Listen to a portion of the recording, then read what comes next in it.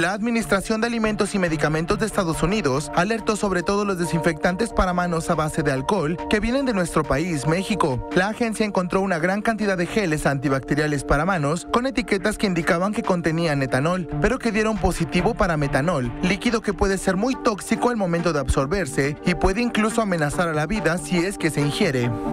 El metanol es un alcohol tóxico que se encuentra comúnmente en productos químicos industriales, desde limpiadores hasta anticongelantes y algunos combustibles. Puede causar daños graves a los órganos del cuerpo si una persona lo ingiere, lo inhala o lo pone en contacto con la piel.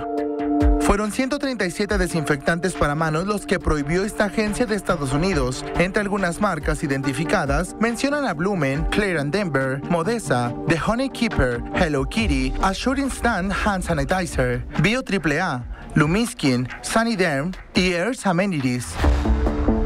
Lo preocupante de esta situación es que estos desinfectantes de manos que fueron prohibidos en Estados Unidos todavía circulan ampliamente en México, lo que genera preocupación entre los expertos de la salud porque decenas de personas que usan gel antibacterial podrían envenenarse lentamente. Ante esto, la COFEPRIS emitió una alerta pública advirtiendo a los consumidores que tuvieran cuidado con los desinfectantes de fuentes desconocidas. Telediario.